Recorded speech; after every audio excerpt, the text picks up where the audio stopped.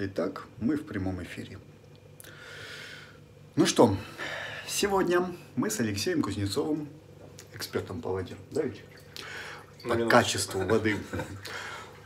С Алексеем мы расскажем о том, какая вода бывает, которую мы выбираем для питья, а, где ее обычно люди берут, так сказать, приобретают и все такое, и какие системы очистки, фильтры и прочее. Я бы сказал, добавил, Ром, где ее не стоит брать.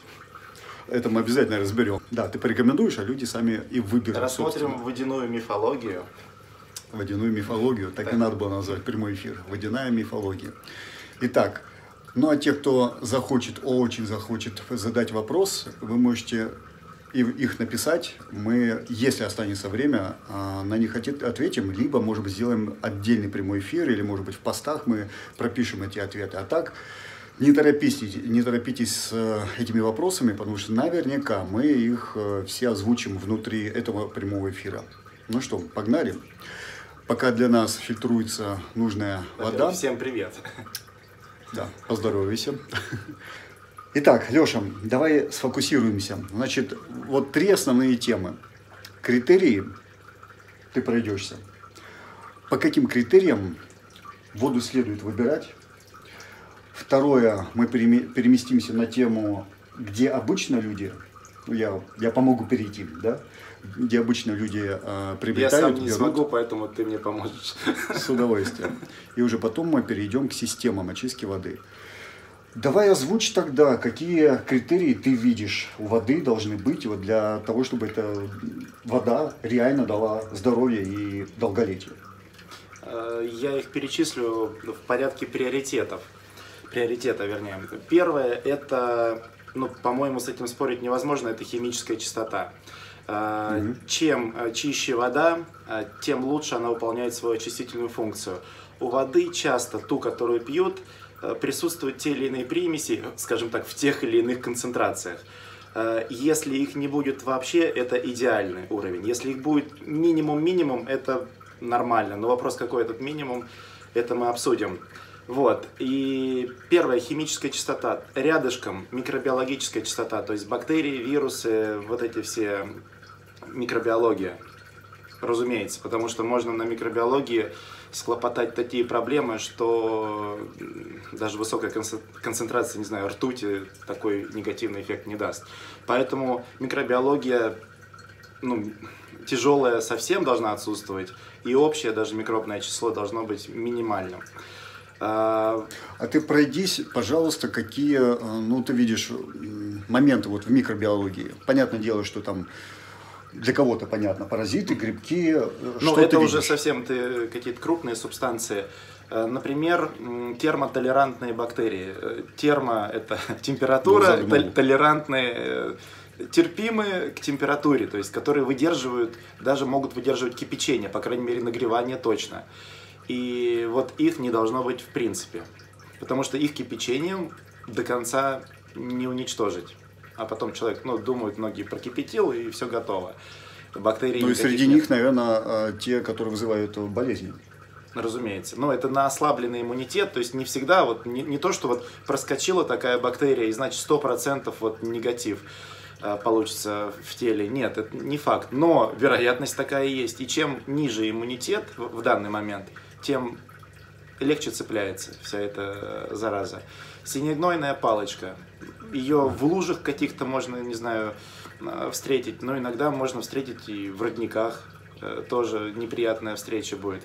Те, кто особенно сырую пьют, если, ну, ее кипячение, в принципе, убьет, но те, кто любит и так как бы живую воду, сырую попить, э, могут нарваться на плохой итог.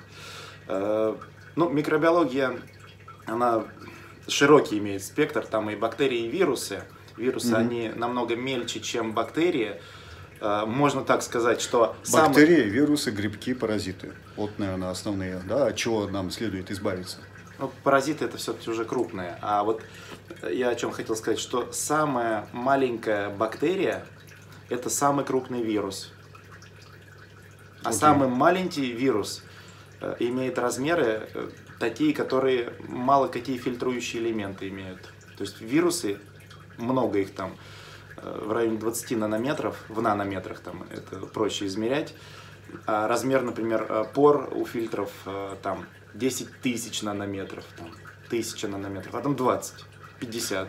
Это, кстати, будут интересные моменты потом впереди, ну, потому что вы должны понимать, если у них такие микро размеры, значит, какая система сможет с этим справиться? Вот это мы впереди еще обсудим с Алексеем. Давай, наверное, да. перейдем Да, дальше. химическая частота, Да. микробиологическая частота. Далее э, минерализация. Минерализация не должна быть А погоди секунду. Так. Насчет э, химической. Ну вот в моем понимании там, э, тяжелые металлы, ртуть, вот от этого точно нужно освободить. А чтобы ты перечислил? Да, да, я действительно, для меня это понятно уже, а нужно объяснить, Следует расшифровать.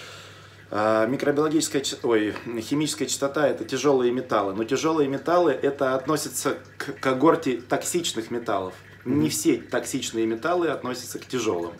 Не все а, м, тяжелые металлы, точнее радиоактивные элементы являются тяжелыми. Есть когорта токсичных металлов. Среди них есть легкие элементы, такой как литий, например, но наличие которого в воде не допустимо.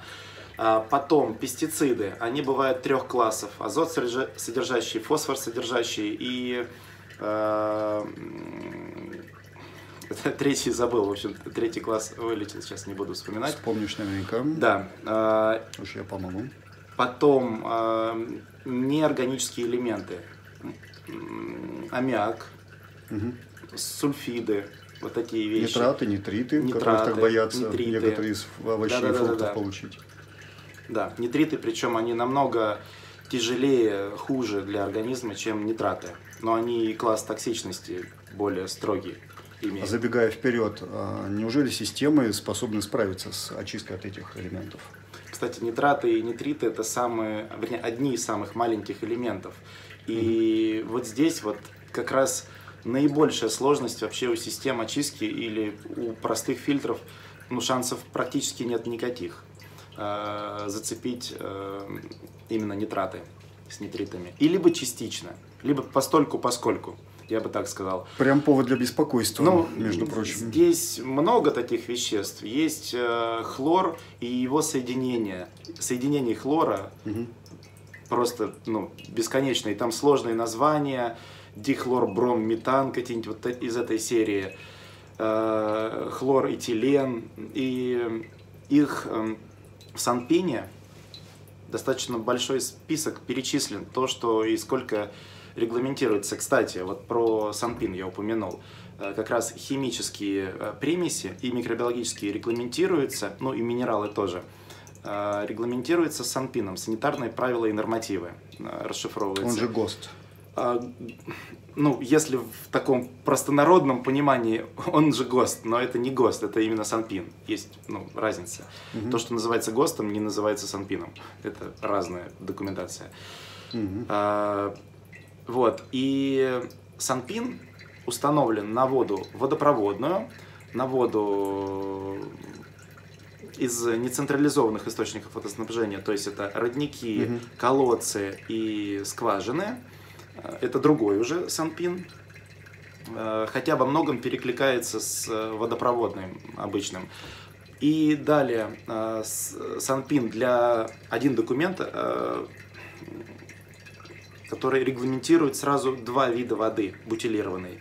Первую категорию и высшую категорию бутилированной воды, и там же детская.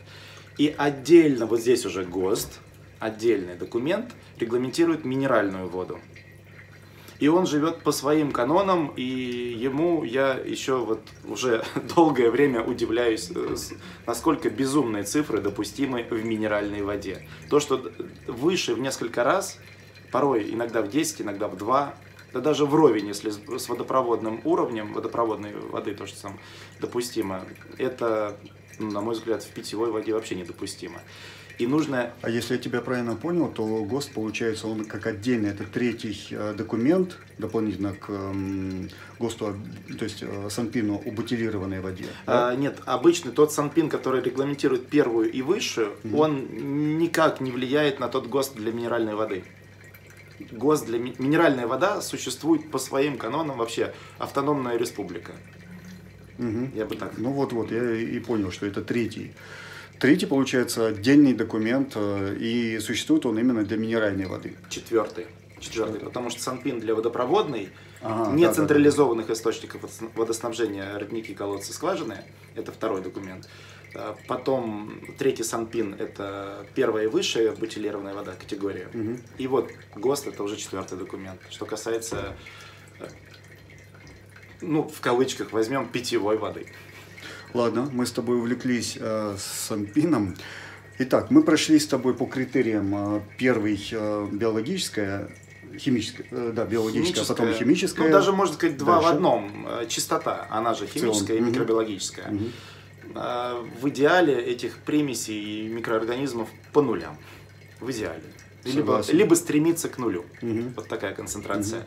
А если быть точным, еще добавлю, вот э, Санпин самый строгий у нас есть для высшей категории. И там есть показатели примесей, сколько допускается. И Если мы берем эти цифры, это его можно в интернете свободно найти.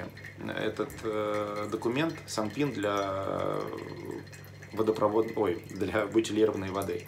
И там будет колонка для высшей категории. И берем 5, не более, вернее, 5 или 10 процентов от допустимого в высшей категории.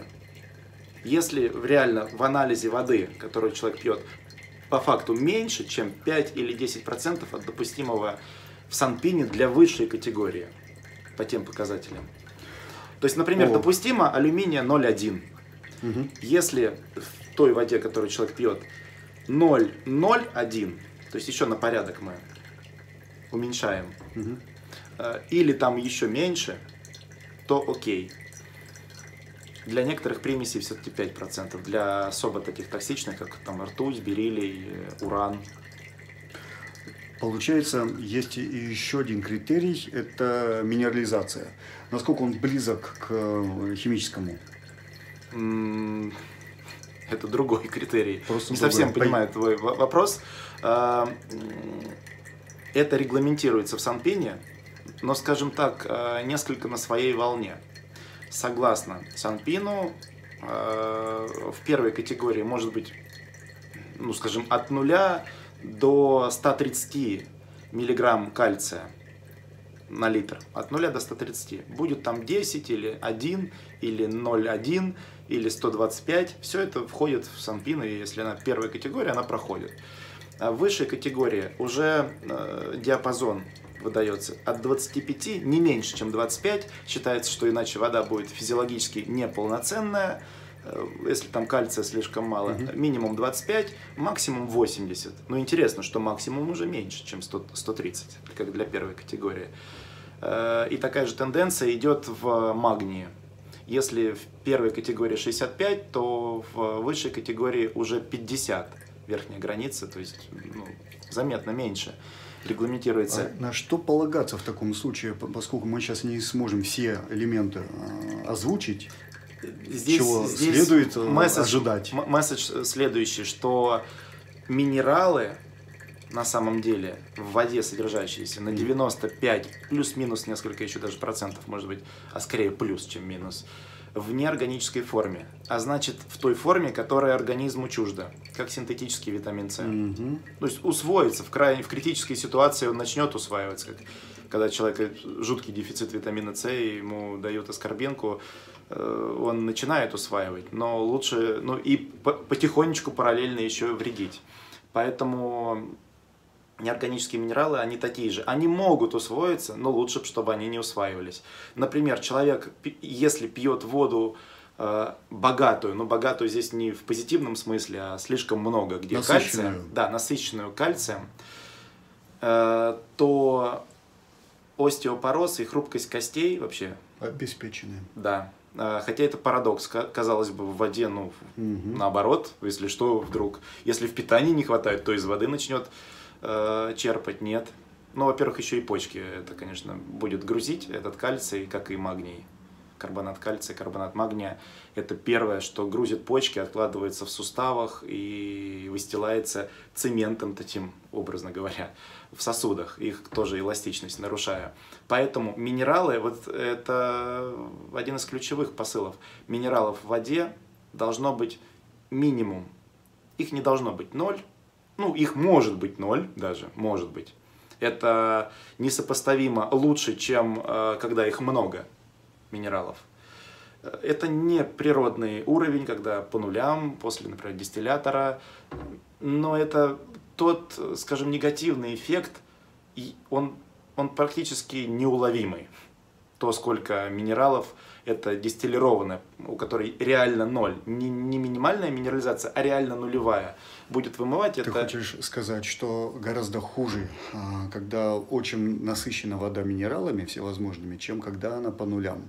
Да, Но не будет ли она в таком случае заставлять организм э, передавать а, в, в эту самую жидкость, ну или куда-то еще, или выводить, и, а, одним словом, выводить в том числе из суставов и, может быть, из э, крови те самые нужные нам минералы? Ведь э, при помощи калия, натрия, допустим, происходит э, проводимость нервных импульсов, электрических импульсов. Почему судороги и возникают? питание, и питание клеток, калий, натриевый насос. Это- Ну, во- вообще, да, это такой момент, э, с чего и надо было нам начать э, эфир, ведь вода – это источник номер, номер два, источник жизни после кислорода.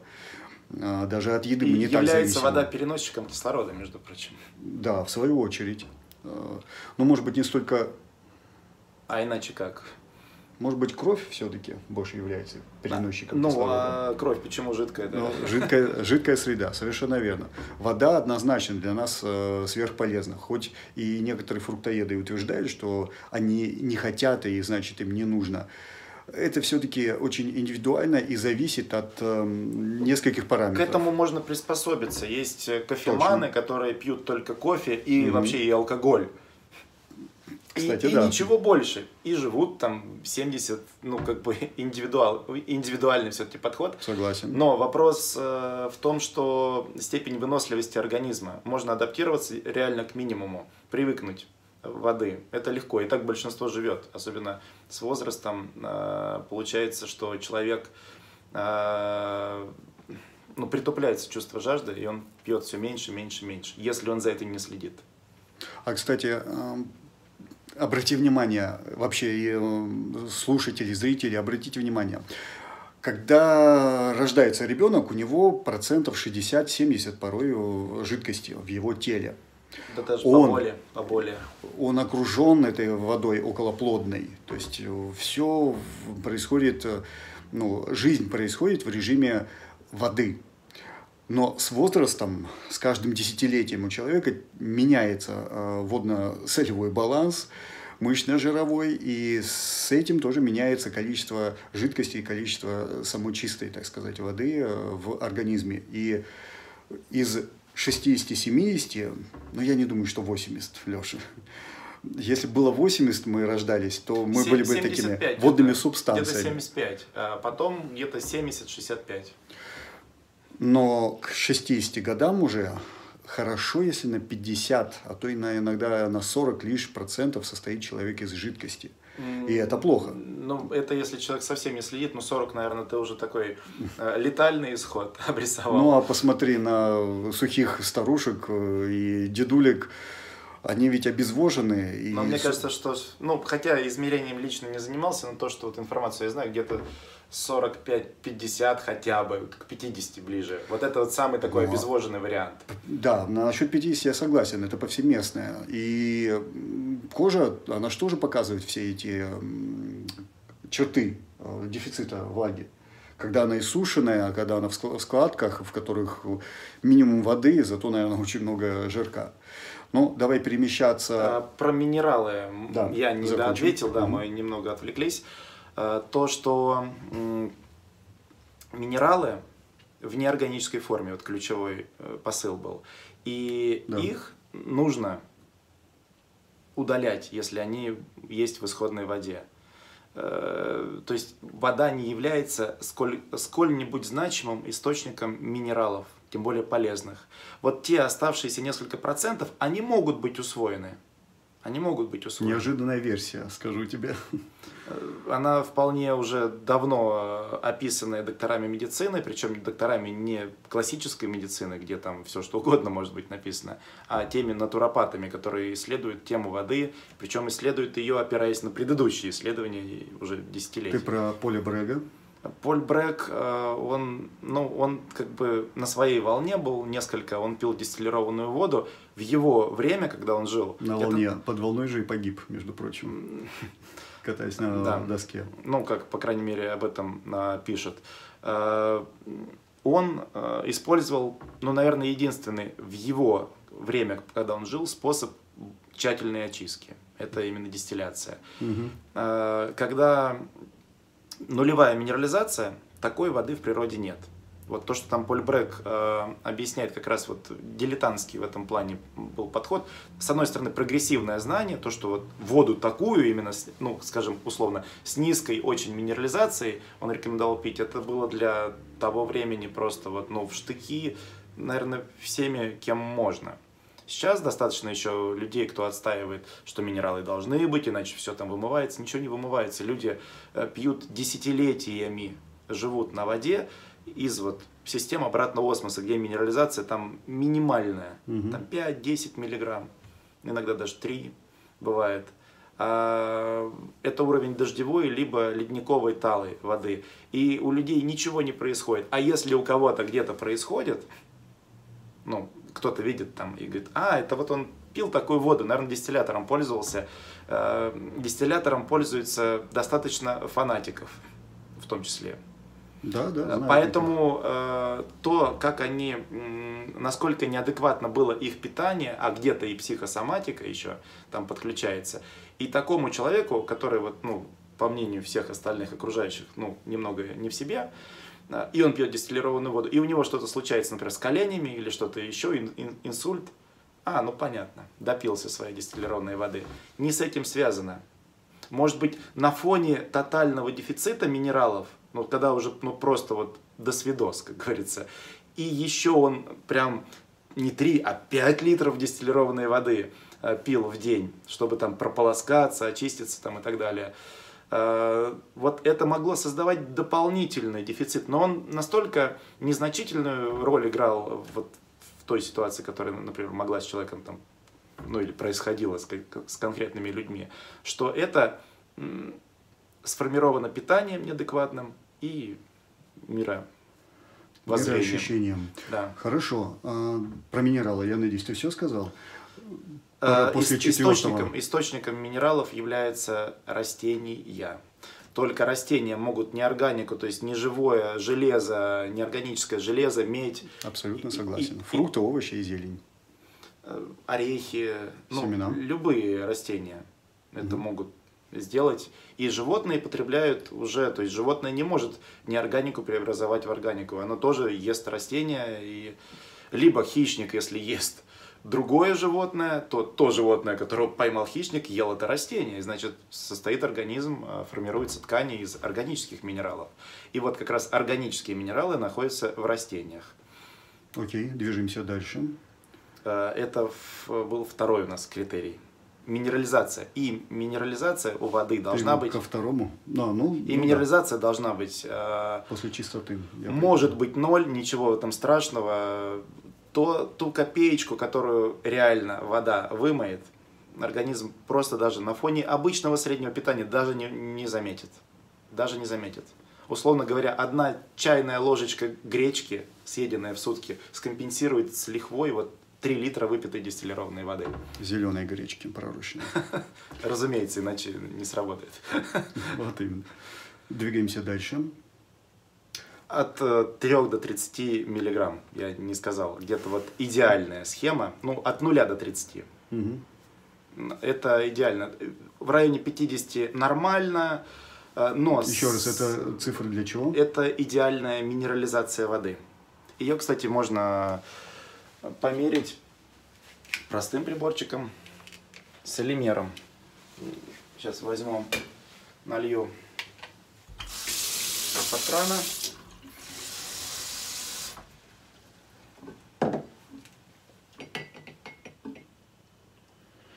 Здесь мы Так, видим 200, Солиметр изначально 234. 239. Да, 9. Ну, 238, оно там может меняться, 237.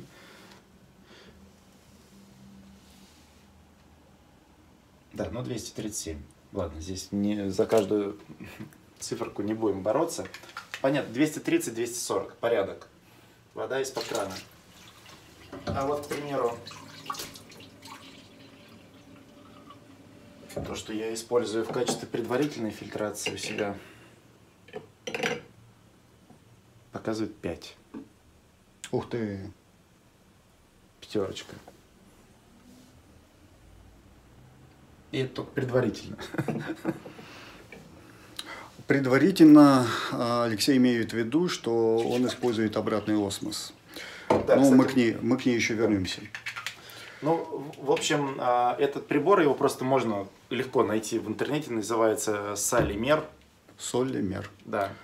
Ну окей, давай двигаться 2000 дальше. рублей в среднем он стоит. Итак, мы озвучили чистоту, минерализацию. Что еще? Информационное энергетическое состояние. Или в простонародье структурированная ли вода, или хаос. Мгм. Э, Вот. И это тоже важно. Но, но изначально важно именно химическая и микробиологическая чистота. Потом мы смотрим минерализация. Или точнее, сначала мы можем оценить минерализацию. Если она низкая, не факт, что вода химически чистая и микробиологически, не факт. Но уже можно изучить, уже есть зацепочка. Если и то, и другое, первые два пункта соблюдены, то э, заботимся уже о ее информационно-энергетическом состоянии. Ну, я думаю, э, все уже сто раз слышали про память воды, про вот то, что она считывает и запоминает, и трансформируется под воздействием окружающей среды. Но ведь только один прибор, дегидратор, о, дегидратор, Только он. только он способен. Только один а, лишь эм, помоги мне с этим прибором. А я не совсем понимаю, про что ты сейчас хочешь Кто сказать. способен очистить от э, плохой энергетики, от негативной А, информации? это элементарно, это в природе происходит, замораживание. А, точно. Можно заморозить, заморозить да. даже в морозилке, и уже информация исходная обнулится. Мгм. То есть промораживание полной воды – это обнуление информации. Другое дело, при оттаивании, что будет, какая ситуация. Вот э, там можно тоже напортачить. Вода будет считывать все эти Wi-Fi и, и тому подобное. Дистиллятор. Я имел в виду, что дистиллятор, он также вроде как А, очищает. ди- Дистиллятор, сейчас мы уже в конкретный разбор ушли, дистиллятор, он очень деструктивен для структуры воды. Да? Как раз он, Почему? он делает, э, здесь нету аналогии, как некоторые думают, ну вот э, заливаю в дистиллятор, закрытая емкость, там идет нагревание, снизу испарение, как в природе, как вот облачка, Мгм. в природе идет спокойное нагревание, нету там вот этого 100 градусов или больше снизу огонек там или что-то электрическое, ну часто огонь. И в замкнутом пространстве в природе такого ну, просто не существует. И тем более э, обрамлено все металлом. Ну то есть это не, э, не равно никоим образом с природным испарением воды. Ну, это понял, принудительное понял, согласен. в концлагере называется воздействие на воду. И когда вода вылетает, ну, в смысле, испаряется с поверхности, то молекулы, они уже ну, не помнят, в каком соединении они были между собой. Это просто вот, э, ну, в хаосе вылетают под, э, ну, вынужденно, можно сказать, в агрессивно-деструктивном таком состоянии. Ну, я образные вещи какие-то говорю. Поэтому вода, которая потом сконденсировалась, она не может собраться, если исходная вода была, э, например, даже там структурированная, а потом ее продистиллировали, то дистиллированная вода уже будет, э, ну, в общем, на дистиллированной водой нужно хорошенько покумекать, чтобы ее в гармоничное состояние Привести. да, привести. Так, идем дальше. Как минимум заморозить. Заморозить будет надежный вариант, чтобы вот это все, всю тяжесть, весь негатив аннулировать. Информационная очистка. После этого Да, для чего это нужно? Потому что та информация, которая входит в организм, она клетками считывается, это раз. Второй момент, вода структурированная, легче усваивается, без усилий, не нужно организму сначала ее докручивать, Мгм. а потом усваивать. То есть сразу без усилий и с позитивной информацией поступает.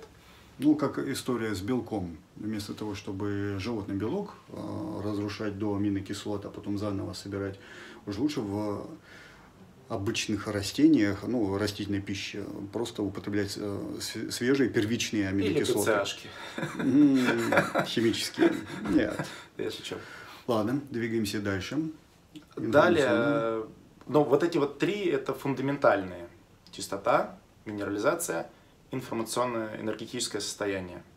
А ОВП и pH ты ставишь все-таки pH и ОВП это уже четвертое, пятое. Причем pH, угу. потом ОВП. И pH он вытекает на самом деле из э, минерализации воды. Угу. Если у воды невысокая минерализация, щелочной вода не может быть по определению. У ледниковой воды, у талого снега там минерализация небольшая, где-то там 3-5 миллиграмм, 7 может быть. И не может быть у такой воды pH там 7,3 или 8,1. Это не, просто невозможно. При такой... Минерализация определяет pH. И когда на бутылках пишут, что э, вода имеет pH, э, там, например, 7,64 или там 8,2 есть такая вода, но это значит, что просто вот комплекс этих минералов, он дает такую результирующую pH. Вот. Окей, на твой взгляд, такой, на такой, твой взгляд а да. какой должен быть pH? Он воды? должен быть э, естественный. Ну, а у воды чистой всегда кислотный pH. То есть у воды чистой низкая минерализация, это раз, а низкая минерализация ну, об, да, определяет уже pH. Например, у дождевой воды, если мы абстрагируемся от химических загрязнений дождевой воды, а просто mm-hmm. вот дождевая вода, вот девственная, вот, вот ее не знаю, достали или получили эквивалент такой, э, там 2-3 миллиграмма минерализации, то у нее pH будет где-то 5,8. Угу. Вот ту, которую мы мерили сейчас из э, фильтра подмойка, которая у меня стоит, там где-то в районе 6. Может быть, да, где-то 6. Даже может 5,9, 6,1. Скорее всего, вот точно это назвал pH, который там идет. У дистиллированной воды да. pH где-то 5,5. 5,3 может быть, если долго постоит на воздухе, она может окисляться. За счет полного отсутствия минералов это идет резкий провал. А, в общем, где-то от 5,5 до 6,5. Это вот та, та, которая уже там 25-30 минерализация, где-то 6,5, ну, может, 6,7 угу. максимум у нее okay. будет. А УВП? УВП э, это тема вообще отдельная, э, такая, кстати, популярная. Конечно, как популярно. И, и, я бы Почему даже... я задаю эти вопросы? Вот про pH и ОВП знают, наверное, практически все сыроеды, э, некоторые веганы, о том, что вот вода должна обладать хорошим ОВП, хорошим pH. pH – это как ты расшифруешь и, не знаю… Водородный что... показатель, концентрация ионов водорода в воде. Так, а УВП?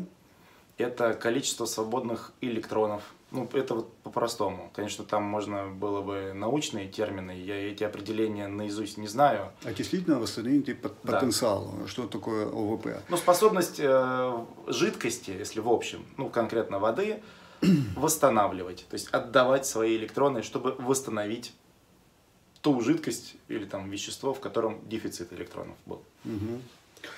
Знаешь, еще такой момент. А, ориентироваться на наш pH невозможно, потому что у нас pH крови один, а, слюны другой, в крови, в лимфе, в желудочном соке он совершенно разный. Он даже может разниться в разных отделах желудка. Поэтому... И в разное время дня.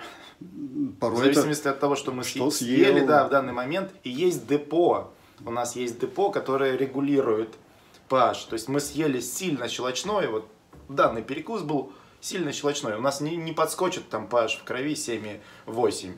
Он За будет 7,4. Он будет 7,4. Угу. Просто еще с запасом войск на то, что если мы потом вдруг съедим что-то сильно закисляющее или выпьем, то вот из этого депо э, выйдут вещества, которые будут поддерживать константу.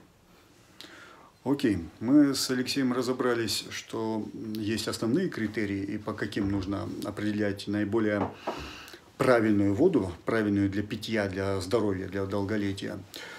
Что-то еще осталось? Помнишь, мы, ну, ты насмехался над э, натяжением воды, ты считаешь это вообще Я по-прежнему это делаю. Ладно. Вот так вот, да. Что-то еще осталось за бортом, что мы с тобой еще не озвучили? Э, я бы побольше бы уделил именно pH, потому что pH настолько тема ядерная, и требует освещения, что я бы даже УВП подвинул, а PH бы сейчас побольше прокомментировал. Идея ведь какая? Те, ну, кто сторонников PH, можешь. сторонники PH, щелочного в смысле, PH, угу. то, что кровь 7,4, ну там кто-то 7,35, 7,45, ну это вот 7,4, самое популярное число.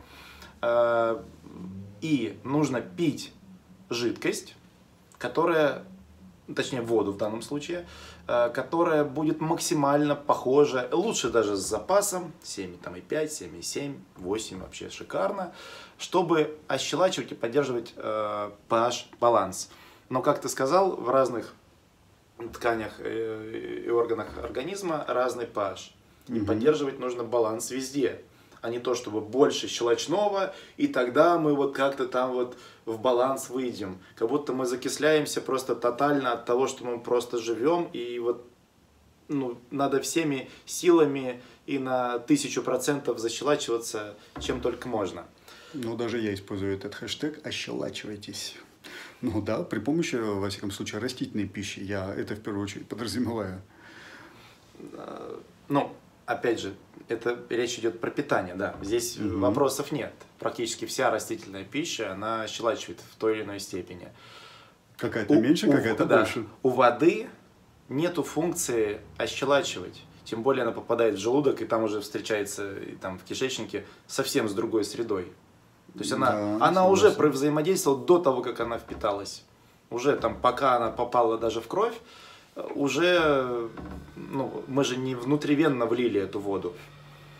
Окей. Вот, это тоже нужно понимать, и э, она может повлиять, она может повлиять, mm-hmm. если вода щелочная, но если она щелочная за счет минералов, если вода щелочная за счет ионизации воды, то у нее щелочность, именно способность ощелачивать, мизерная. То есть можно воду, у которой pH исходный, водопроводная вода, предположим, 7,4, и сделать из нее 9,5. И пить э, с мыслью о том, что я вот сейчас супер ощелачиваюсь. На самом деле, э, вот тот ощелачивающий эффект, вот примерно был он 7,4, стал 7,45. По факту. То есть реально, то есть это как делает такую обертку красивую, а возможность ощелачивать ничтожная. Я, кстати, тебе обещал прислать по этому поводу короткое видео. Окей. Так, ну давай не, не останавливаться на этих показателях. Мы с тобой обсудили главное. Ну, так, да. Я, конечно, любитель погрузиться. Да. да, я знаю, поэтому ты уж извини, что останавливаю, но на самом деле это закономерно, ведь мы обещали три темы разобрать. А, первый критерий мы уже осветили. Вторая тема – это какую воду мы обычно выбираем. И третья – какую бы мы порекомендовали систему для очистки. И вот, да, еще пройтись по многим другим системам. А, давай разберемся в тех э, ресурсах, которые обычно люди используют. Вот ты уже озвучил родники. На, на это, конечно, идут в основном прям от, отъявленные сыроеды, которые действительно Отшельники. ездят... Ну, не то, не чтобы... всегда, нет. Есть предприниматели, которые такие вот прям... Ну, ездят к определенным родникам да. и там э, набирают Но воду. это как-то с мировоззрением человека связано, либо Однозначно. с доверием, привычкой, где-то кто-то рассказал и похвалил. Ну, Ладно, идем дальше. А, это один момент. Ты сам, наверное, разберешь каждый вкратце этот, из этих пунктов. Кто-то, опять же, из сыроедов а, кладет в шунгит, а, ну, там несколько видов камней, типа шунгита и его подобного, и таким образом пытается сделать, опять же, щелочную воду. Да? Затем Ну, могут разные. действовать по-зеландовски, то есть заморозить, вначале, наверное, а, Продистиллировать. продистиллировать, разогреть, потом заморозить, И вытащить, оттаять, электроактиватором еще проехаться потом. как утюгом. Да. Ну, в общем, очень сложный длинный путь. Но на выходе получается действительно хорошая, качественная вода, однозначно очищенная от... э, Я бы не сказал. Вот то, что по Зеланду, я не советую. Там вот э, я согласен с э, дистилляцией отчасти. Ну, как бы, да, Мгм. дистилляция. Хотя я точно его методику прям не рассказывал. Досконально не Мне ее рассказывали многие клиенты. рассказывали. И те, кто пытались по этой методике жить хотя бы частично. Это обычно от месяца до шести месяцев максимум. Это энтузиазм гасится, видимо. Я самый- надеюсь, что не про длительность жизни на этой воде. Но идем дальше. Значит, э, какие-то такие домашние методы очистки. Дальше всем известный кувшин, да, обычные там барьеры и ему подобное. Ты сам разберешь, э, ты сам посчи- посчитаешь вот по Мне каким надо критериям. запомнить, что мне нужно сейчас сказать. Ну, я, если что, помогу. А, Из более серьезных уже, ну там, что, что дороже барьера, от э, тысячи до нескольких Долларов. тысяч, пока еще в рублях мы ведем отчет, до нескольких тысяч. Это э, хорошие, ну, на троечку, четверочку система очистки. А, более серьезные типа обратного осмоса и э, еще более серьезные, где-то даже, наверное, с профессиональным серьезным подходом, это и более дорогие, которые там от э, 50 и, э, и- и старше, от 50 тысяч рублей за упаковку и, и больше. В общем, наверное, вот основные да, Ты критерии. правильно сказал, что за упаковку, а за содержание там еще. Ну да, порой иногда за упаковку. Мы-то с тобой понимаем, о каком бренде идет речь, когда за упаковку. А, Мало кто пьет воду из-под крана, поэтому этот э, момент мы не будем... э, Не, ты знаешь, ты все-таки озвучь, что собой представляет водопроводная вода, в- э, московская, во всяком случае. супчик Супчик из бактерий. из химических примесей. Московской водопроводной системе 214 лет. Исполнилось 28 октября. Поэтому, Вот мы по этому поводу и встретились. Ну да. Отметить. чтобы типа отметить, да. Кстати, можно сходить в музей, мы, я думаю, с Алексеем До сих организуем не это. попил воды, вот у тебя стоит уже полчаса, наверное. Ваше здоровье. Мы э, сходим в музей, покажем, собственно, как начиналась, из чего начиналась московская водопроводная система и что она собой сегодня И представляет. как она закончится? Обсудим. Ой, я надеюсь, что она не закончится. Наоборот, я ей желаю процветания при твоем участии или, ну, как минимум тебе подобных. а лучше Внимание. При твоем участии, информационном внимании, чтобы они только усовершенствовали эту систему, чтобы было как, как в Швейцарии. Ну вот, наверное, это основное. Домашние, родники, колодцы. А, Мало кто привозит с водопадов, э, там типа Иоанна- Ниагарского, хотя там точно очищенная информационная. Ну и э, Заряженная, там точно заряженная вода. Когда Точно вода заряженная. падает вот так естественным образом с большой высоты, она Ну, из э, моих зрителей мало кто пользуется очень э, дорогими системами очистки. Я у тебя как-то спрашивал, ну, на всякий случай, э, напомни, сколько на, на твоей памяти самая дорогая система стоимость, по стоимости, да? которая позиционирует как система бытовая для дома, Мгм, да? мгм. Ну, я слышал про 10 тысяч долларов. Вот. Это пока максимально. В России продается? Продавалось. Но это ионизатор. Слушай, тут я понял, что мы, я сейчас не озвучил еще одну категорию, ту, которую мы покупаем в магазинах, то есть всевозможные бутилированная. И еще одна а, категория – это та, которая а, либо привозится, ну и, соответственно, устанавливается в фитнес-клубах и там салонах красоты, спа-салонах, ну и всевозможных таких вот крупных а, как, организациях. Кстати, я видел даже в Ашане стоит, э, ну, рядом со стойкой информационной, э, бутилированная, с кулером. В общем, пройдись по этим системам очистки, по этим э, выборам воды. Рома, а сколько у нас времени? Огорчу тебя, осталось буквально 15 минут. Ну, я думаю, что мы э, продолжим, продолжим еще там на 15 минут. Поэтому, Тире 60. ну ладно, погнали, рассказывай.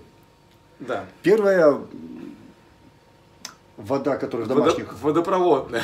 Ну, давай. Капитан очевидность. Хорошо. Ну, вод- водопроводная, правда, московская, я могу, пожалуй, ее нормально прокомментировать. А, Сейчас всячески, и ты вот э, читал э, эту статью, пиарят о том, что вода, Мосводоканал делает все, чтобы сделать воду прям стопроцентной для питья, как там фраза звучала, стопроцентной для питья. Но э, Да-да-да. Магистральные трубы, во- во-первых, добавление хлора, я так скажу, даже вот самых, самых очевидных э, вещей, ну как бы понятных всем, добавление хлора э, уже делает воду другой, ну совсем не, не природной, э, и его воздействие, понятно, негативное. Второй момент, то, что трубы, по которым идет вода, это, ну, собирает помимо железа еще и кадмий, свинец, из сварных швов там выделяется и так далее. Просто ржавеют и вот все вот это вот муть, она туда добавляется. Там уже кому как повезло. Кто-то живет в более, где магистральные трубы посвежее, где-то менее. Но все равно они там несколько лет и уже они не какие-то там сверкающие, а, такие как медицинская сталь. Напомню, Московской водопроводной системе 214 лет. Поэтому Не, пусть ну, её даже на- меняли, же Да, меняли. в советское время. Но, тем не менее, э, их не меняют э, каждый год. Поэтому ты абсолютно правильно, что озвучил все эти моменты. И для меня, кстати, это удивление, что на вопрос, то есть из-под крана воду можно пить, ответ был однозначный от э, руководительницы этого музея по московской водоочистительной системе. Стопроцентно можно. Ну, пусть она и пьет, я так скажу. Вот, ну, мы говорим, и, кстати, некоторые люди могут э, вполне так резонно сказать, ну вот, пили же, пили, не было вообще никаких фильтров, вот, ну, Точно. примерно такой же санпин был для водопроводной воды. В моем детстве точно пили мы из-под крана. Вопрос здесь, мы сейчас не говорим про то, что в войну тоже что-то пили, и из лужи пили, и вообще и не пили, и по-всякому, Мгм. и, и выживали. Но Мгм. мы говорим не о выживании, мы говорим об идеальном, об идеальной воде для действительно долголетия и здоровья, здоровья, здорового долголетия, вот так скажем. Абсолютно согласен с Поэтому вот э, нужно через эту призму воспринимать, а не то, что ну тут сейчас вот какую-то идеалистическую схему э, рисуют. Мгм. Мы говорим про действительно идеальное. То есть если отхождение от этого идеального небольшое, тоже ладно. Но если это вода из-под крана, ну она реально противная. Я, Конечно. ну то есть там а, прям отврат. Но человек, который ее пил регулярно, у него, конечно, рецепторы уже, ну, даже с хлором, можно сказать, ну не то что сожжены, но где-то около этого они искажены. То есть человек уже, ему дать реально чистую вот талый снег вот где-нибудь с диких гор привезти, он скажет, что-то какая-то противная вода, и реально так многие люди скажут, которые пьют воду из-под крана. Чем более изуродованы вкусовые предпочтения, ну, дай человеку, который в Макдаке ест гамбургер, дай ему сельдерей, его стошнит, скорее всего. Так и бы. Особенно если сок. Сельдереевый сок, Да. да, ну, сто процентов. Ну окей, да, понятно, что по, ф- по аромату даже от водопроводной воды очень сильно разит хлором. Это понятно. Ну давай долго на ней не Да, застревать. и, Э, Это и очень легко, очевидно. очень легко на самом деле, вот те э, санпин, ну, стандарты санпин для водопроводной воды, в них легко попасть, потому что они завышенные. Мгм. Они такие вот, ну, прям ого-го. Э, По минералам многим. По химическим. По минералам даже, ладно, это не самое... ну, И даже по ядовитым э, веществам, собственно. Вот. Они тоже завышены. по, по ядовитым, вот по токсичным, я это имею в виду. Мгм. Вот, вот тут вот уже, то есть человек может верить в них, не верить, как они ему вредят, они все равно ему навредят. Согласен. Если человек, как вот бывает смещенный а- акцент, он сделал pH считают, что все-таки щелочная должна быть вода. Сделал pH 7,7, какое-то красивое число. 7,77. Э, структурировал воду каким-то способом, там, Мгм. ну, ему известным. По-зеландовски. Ну, как-то, да. Ты имеешь в виду Замораживание. КФ- КФС, еще пластину. М. Э, Не путать с KFC. Да-да-да. Продолжай. Э, Сбился в смысле. Заморозил, оттаял и на выходе что получил? А, да, человек позаботился о pH, ну, тот, который он там считает правильным, э, структуру сделал, а химически у него вода грязная. То есть там есть примеси, концентрация которых, безусловно, повлияет. Другое дело, что человек может не заметить. В суете там вот он не чувствует, ой, как-то я выпил, и мне тяжело стало. Это должна быть уж очень высокая концентрация токсичных веществ, чтобы у человека там головокружение пошло. Это значит, что уже прям совсем капут, если такой эффект. Это очень потихонечку каждый день накопительный эффект. Вот о чем мы говорим. Это даже э, не совсем ну, сложно доказуемо. Человек может просто от колбасы, скажем так, э, запороть свое здоровье э, куда быстрее, чем то, что он пьет водопроводную воду. Я сейчас понял, что мы на самом деле рассуждаем об э, очевидном. Водопроводная вода – это бяка. Да. Людей наверняка гораздо э, больше интересует э, Что с выбор, этой бякой делать? в том числе и бутилированная вода. Вот почему, по каким критериям она может быть хороша или нет. Потому что когда мы пройдемся, ну хотя бы вкратце, по Бутилированная. таким Да, я брендам, думаю, как- мы уже в следующем прямом эфире э, вкратце, давай вкратце. Я про, про фильтры. Э, Первое, то, что чем пользуется, ну, если в Россию взять, может и мир даже, большая часть людей, те, кто хоть как-то фильтрует, это фильтр кувшин. Настольный фильтр Да, кувшин. согласен. Э, разных марок. Брита, Барьер, Новая Родник. вода. Не знаю, насчет родника какого. А, ты имеешь в виду родник вообще из родника? Нет, нет, нет, по-моему, есть такой бренд. Ну, их много на самом деле. Мгм. Э, у них э, картридж, в котором шарики, как правило, основа. Это гранулированного активированного угля. Угля. И вода просто ну, по этим шарикам скользит, бежит. Мгм. Сеточка грубая на входе, сеточка грубая на выходе этого картриджа. И все. То есть там размер пор такой, что только слон не пройдет. Ну, для примесей относительно, если мы... То есть, если вспомнить а, наше начало, когда мы описывали про микроны бактерий, то очевидно, что большинство, подавляющее большинство бактерий пройдет с легкостью через эти а, Да, и даже поры. взвеси, даже взвеси, Мгм. такие как ржавчина. Да, мы можем увидеть залив там ржавую воду, вот в- в заливной этот ну, отсек, что тут налет ржавчины, прям пальцем провести, или какие-то частички даже могут, ну где вот вода совсем плохая. Так раньше у родителей было, вот я видел это вот. Но Мгм. это не значит, что вот, вот она вся тут ржавчина, и плюс она застряла там. Там и не через такие э, фильтры, через многоступенчатые, э, где колб там 4-5, проходит ржавчина все равно. А Мгм. вот через это там... То есть это из 100% в идеале, которые нужно сфильтровать, 3, максимум 5%. Вот оно э, понимание. То есть это больше психологическая защита, чем по факту фильтрация. Какие-то примеси, э, типа летучего хлора, от этого свободного хлора, который дает очевидный привкус, э, эти фильтры заметно очистят, не сказать бы, что на 100%, но заметно. И вкус меняется, то есть до и после это разный вкус. Но в плане именно там взять нитраты, пестициды в полном объеме, там э, тяжелые металлы, токсичные, вернее, металлы во всем спектре, и каждый посмотреть до и после. Только некоторые зацепят, например, ртуть, да, там активированный уголь он может притянуть, а некоторые, то, что они 3-5%. 3-5% из 100 в идеале, которые нужно было бы удалить. Это очень мало, и это ну, способ, который только лишь можно провести параллель с психологической защитой. Что человек для себя объясняет, я хотя бы фильтрую. Хотя я раньше жил с фильтром кувшином 7 лет назад, вот еще 7 лет назад я жил с фильтром кувшином, но тогда я уже Да, знал согласен. про другой способ, но семь с половиной я жа- э, жил и вообще не парился. Вот вообще не парился, просто не задумывался об этом. Счастливым я называю это счастливое неведение. Счастливое невидение. Да, Переходим следующий этап. к следующему, Это более серьезному. когда бывают колбы такие, три колбы, бывает четыре, соединенные там обычно планкой. Ну, это самые Мгм, такие расхожие. мгм.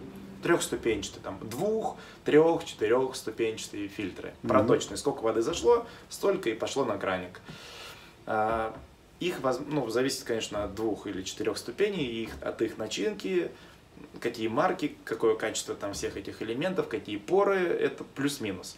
Ну, где-то 10-20%. Вот разбег. То есть это все равно одна пятая всего лишь в лучшем случае от того, что нужно удалить в идеале.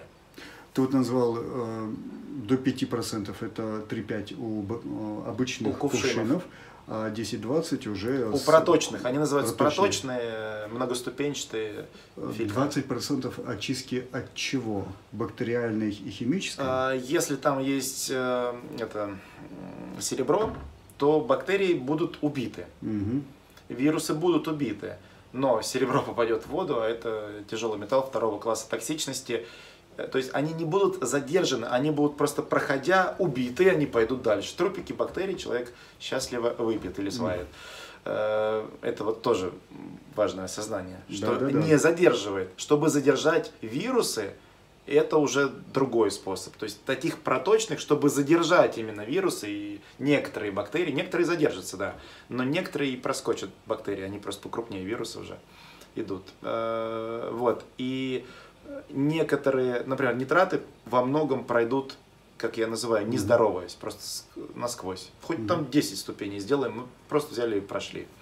Чуть-чуть их зацепило там косвенно, где-то примагнитило, и все. А подавляющее большинство нитратов прошли.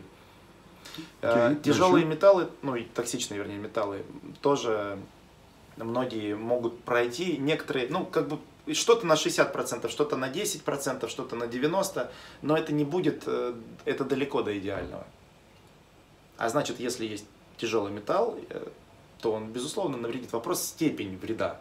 Это как э, нету безопасной дозы радиации или алкоголя. Вопрос, почувствует человек этот эффект, от, от- ну, как бы, или оно так как-то в общем плане сгладится его жизни, быта. Окей, а эти, Дальше. эти системы, как правило, сколько стоят? Три, Э, пять? Ну, фильтр кувшин, я даже не знаю, сколько сейчас стоит. По-моему, рублей 500, но плюс кассета. До ну, ну, 500. тысяча где-то, тысяча где-то они стоят в сумме. Там. Ну, это если там несколько литров. Какой-то продвинутый, наверное, да. А, Так, второй вариант ты озвучил. Я даже не буду говорить, с какой частотой там стоит менять, пользуясь фильтром кувшином, им не надо пользоваться. Вот, главный месседж – всячески переходить хотя бы на следующий уровень. Мгм. Ну, хотя, Хотя бы, бы на второй Хотя бы на второй, э, потому что, ну, иначе там сколько времени? осталось. Две минуты. Э, Следующий этап – это система обратного осмоса. Давай покажем, как у меня эта система выглядит. Я думаю, что мы как раз в следующем видео и перейдем в этот, э, к этой системе. Заглянем под За, ободок заглянем унитаза. Под, под кухонный стол всего лишь. Друзья, до следующего эфира прямо сейчас. thank you